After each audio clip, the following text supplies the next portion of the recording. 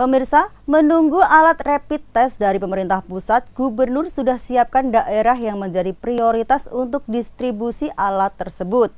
Pasalnya, petugas medis yang melakukan penanganan sudah siapkan untuk pengoperasian alat tersebut.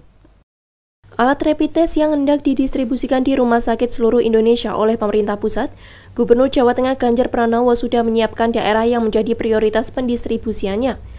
Daerah yang terdapat orang dalam pengawasan serta pasien dalam pengawasan, seperti di Solo dan Semarang, akan menjadi prioritas utama dalam pendistribusian alat tersebut.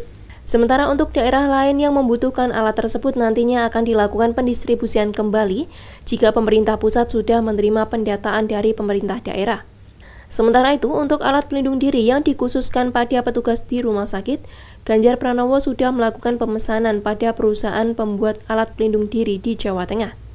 Setidaknya hari ini yang minimal Solo, Semarang, minimal dua itu gitu. Dari hasil eh, penelusuran kita siapa ya di situ.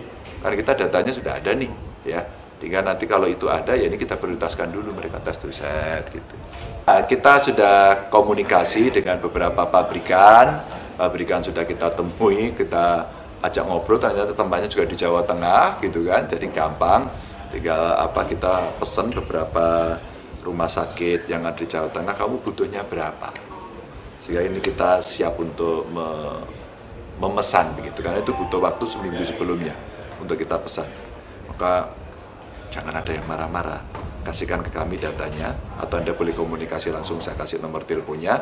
Eh, tapi kalau mau dikoordinasikan oleh Jawa Tengah insya Allah jauh lebih gampang seperti yang diketahui, kondisi merebaknya virus COVID-19 atau corona sudah mewabah di berbagai tempat di Jawa Tengah.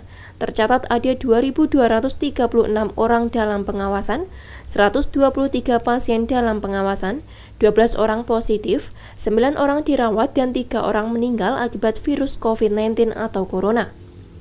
Heri Riana, Simpang 5 TV, melaporkan.